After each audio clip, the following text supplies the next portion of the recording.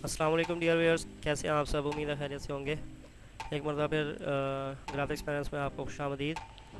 आज मैं आपको बताऊँगा कि फाइवर में किस तरह जो है आप अपनी गैलरी को सेटअप कर सकते हैं। ठीक है फाइवर गिग गैलरी जो इन आ, उसमें इमेजेस या अपनी वीडियोस आपकी इंक्रीज़ होंगी वो किस तरह होंगी? जब भी आप अपना ऑर्डर सबमिट करेंगे ठीक है तो आपने एक जो है वो गिग सैंपल जो या फिर वो उसमें जो जो भी डिलीवरी में जो भी आइटम है, उसकी अगर आपको ये सैंपल शो करवाना चाहते हैं कि मेरी गिग में ये शो हो तो वो आप क्या करेंगे, यहाँ पे सिलेक्ट कर सकते हैं, ठीक है? पहले तो ये होता था कि जब आप फाइनल डिलीवरीज जो है वो अटैच करते थे फाइल्स तो उसमें क्या होता था कि आपको फाइनल डिलीवरी अटैच कर जो की होती थी, उसी में से वो खुद ऑटोमेटिक जो पहली फ़ाइल थी वो गिग गैलरी में शो करवाना शुरू कर देता था। अगर उसको जो बायर होगा वो जब ऑर्डर कंप्लीट करेगा तो उसमें अगर सेलेक्ट करेगा कि आपकी पिक्चर जो है वो गैलरी में शो हो ठीक है? बायर जब ये ऑर्डर कंप्लीट करता है तो आ, वो सिलेक्ट कर सकता है कि जो डिलीवरी डिलीवरी जो है वो आपके रिव्यूज़ के साथ जो है वो शो हो ठीक है? तो काफ़ी बायर्स जो हैं वो अपने डाटे को जो थोड़ा सा शेयर करना इनसिक्योर समझते हैं वो इसलिए जब भी वो आपका ऑर्डर कंप्लीट करते हैं तो उसे जो है वो आपकी गैलरी में शामिल नहीं करते ठीक है? तो इसके लिए आपने जो है कि एक सैंपल के तौर पे कोई इमेज या इस तरह, कोई वीडियो बना लेनी है, ठीक है? जिस तरह के मैंने अब जो मेरा आउटरो और इंट्रो मैंने क्लाइंट के लिए बनाया, ठीक है? वो मैं सबमिट किया तो उसके साथ जो है वो मैंने कैनवा को यूज़ करते हुए एक जो है दोनों इंट्रो और आउटरो का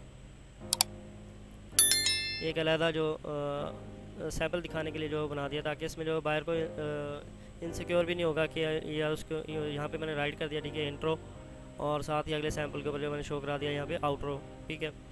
ताकि वो एक सैंपल के तौर पे मेरे गिग गैलरी में शामिल हो जाएगा। तो इस तरह जो है वो आप अपनी गिग गैलरी में वो शामिल करने के लिए वो भी इमेज जो है वो आप इसमें फाइनल डिलीवरी में शामिल कर देंगे, ठीक है? तो बाहर जब इसको सिलेक्ट करेगा तो फाइव फाइवर ने अभी जो है वो आपको ऑप्शन दिया है कि कोई भी इमेज जो है या कोई भी वीडियो जो है आप जो अपनी फाइनल डिलीवरी में से शो रख सकते हैं कि कौन सी गिग गैलरी में शो हो, ठीक है? तो ये एरो के निशान से आप जो है वो सिलेक्ट कर सकते हैं कि कौन सी फ़ाइल जो है वो मेरी आ, ये गैलरी के अंदर शामिल हो। तो ये गैलरी सैंपल लिखा हुआ ठीक है? तो जब बायर के पास रिक्वेस्ट जाएगी तो वो सिलेक्ट करने के लिए फिर वो इसमें हेसिटेशन फील नहीं करेगा। क्योंकि अगर तो उसका अपना आ, सारा ये मटीरियल होगा ठीक है? ये उस ये उसका अपना आउटरो या इंट्रो होता। तो फिर अगर तो वो फाइनल डिलीवरी नहीं शो करवाना चाहता तो कम अज़ कम वो ये देख लेगा कि ये इंट्रो एंड आउट्रो उसने एक फ़ाइल बनाई है, ये वैसे ही सैंपल शो करवाने के लिए। तो इसे शो करवाने में वो हेजिटेशन फील नहीं करेगा, ठीक है? तो कोशिश करें कि आप इसको जो है वो ज़रूर देखें और जब भी डिलीवरी अपनी जो फाइनल डिलीवरी सबमिट करें तो उसमें जो है अपने गिग गैलरी सैंपल जो है, वो खुद इससे सिलेक्ट कर लें ताकि वो बाहर को ये ना देखना पड़े कि कौन सा गैलरी सैंपल इसको रखना चाहिए, ठीक है? अच्छा इसके अलावा जो है वो आपने ये क्विक रिस्पॉन्सेज हैं ठीक है? क्विक रिस्पॉन्स जो है वो आप अपना भी ऐड कर सकते हैं, ठीक है? ये बहुत टाइम सेविंग एक फाइबर की फ़ीचर है, ठीक है? तो यहाँ से जो है आप अपना कोई भी जो है वो क्विक रिस्पॉन्स जो है वो आप रख सकते हैं, ठीक है? इस तरह वो आपका ऑर्डर आप सबमिट करते हैं तो उसके लिए भी आप ये चीज़ जो है वो आप खुद से लिख के रख सकते हैं, ठीक है? उन्होंने जिस तरह लिखा हुआ होता है, ये उनका अपना है। Thanks for your order I will get to this as soon as I can ठीक है? ये तो रिस्पॉन्स है कि जब आपको ऑर्डर मिलता है तो आप उसे ये मैसेज दे देते हैं बायर को। ठीक है हेयर इज़ योर डिलीवरी ठीक है, ये उनका अपना मैसेज है ये क्लाइंट का नेम आ जाता है, फिर thanks again for your order your delivery is enclose here if there is an problem please let me know I will get back to you as soon as I can okay thanks again and have a great day ठीक है? तो ये तो automatic जो उनका message है, ठीक है, वो भी आप कर सकते हैं। आप अपने से खुद से भी बना सकते हैं। जब बनाएँगे तो यहाँ पे लिख देंगे कि ऑर्डर सबमिट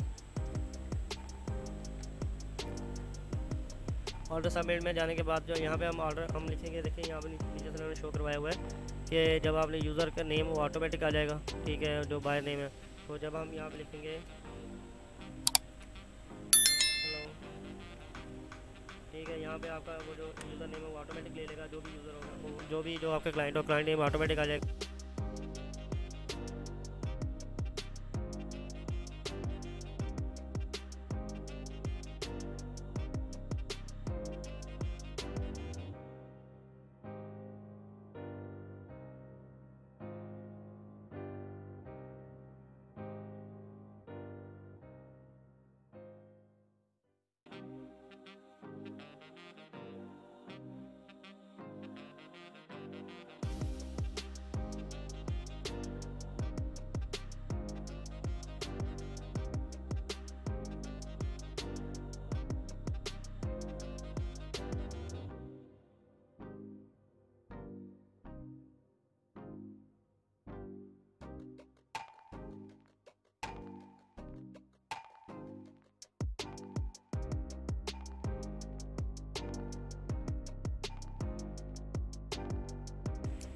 ब्रांड नेम ठीक है? तो वो भी आप यहाँ ऐड कर सकते हैं, ठीक है? वो ये पक्का मैंने एक रिस्पॉन्स बना दिया, ठीक है?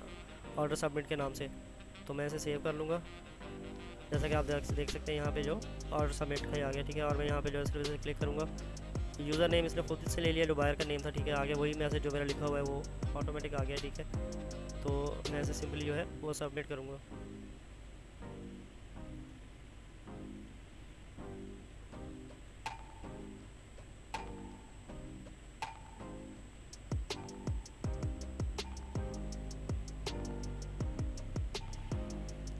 ठीक हो गया, ये मेरी फाइनल डिलीवरी है, ठीक है, ये सबमिट हो गया ऑर्डर तो अब बायर जो इसको एक्सेप्ट करेगा तो इसमें जो गैलरी सैंपल जो होगा, वो उसे शो होगा कि अगर वो अपनी रिव्यू के साथ उसे शो करवाना चाहता है, ठीक है? तो उम्मीद है कि वो बायर जो है, वो, जब वो देखेगा कि इसके साथ मैंने वो इंट्रो राउट्रो लिखा हुआ है, यानी कि उसकी ओरिजिनल फ़ाइल नहीं है तो वो हेजिटेशन फील नहीं करेगा और उसे क्लिक करने करने के बाद जो एक्सेप्ट करेगा तो वो जो रिव्यू है उसका, वो एक गैलरी सैंपल सैंपल के साथ जो है वो रिव्यू शो होगा गैलरी में, ठीक है? और थ्री डेज़ होते हैं इसके लिए, अगर थ्री डेज़ में वो ऑर्डर को कंप्लीट नहीं करता तो ये ऑटोमेटिक कंप्लीट हो जाता है, ठीक है?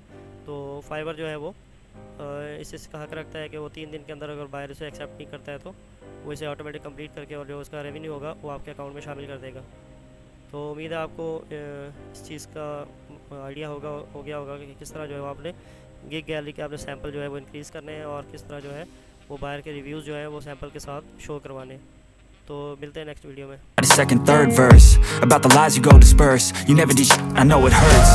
But something deep inside won't let me